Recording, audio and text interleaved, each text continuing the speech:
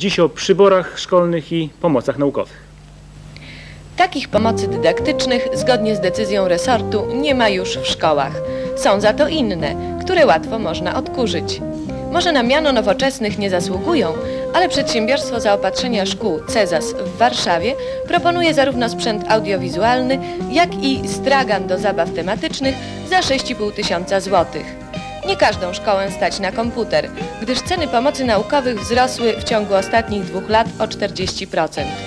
Nie kupimy zaś do szkolnej pracowni wszystkich potrzebnych map historycznych i geograficznych. Mało jest również sprzętu sportowego. A co można kupić dla ucznia w Łodzi?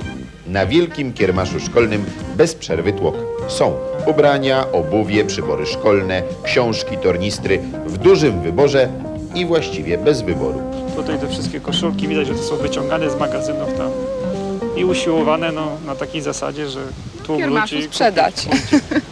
No, raczej nie zauważyłam, żeby były ładne rzeczy. Na metr 28, na metr 10 można zaopatrzyć się, ale na metr 40, metr 50 raczej nie.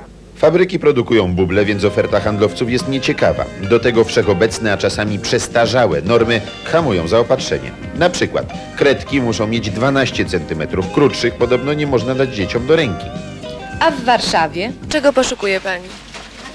No takich podstawowych jakichś rzeczy. Piórni, kredki, także tego w ogóle nie ma.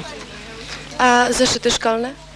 No też problemy są z tym. Za kredkami całe lato chodzę i nigdzie nie kupiłam. Nie można dostać szkolnego obuwia. Ciągle tenisówki, kapcie, szczególnie mniejsze rozmiary.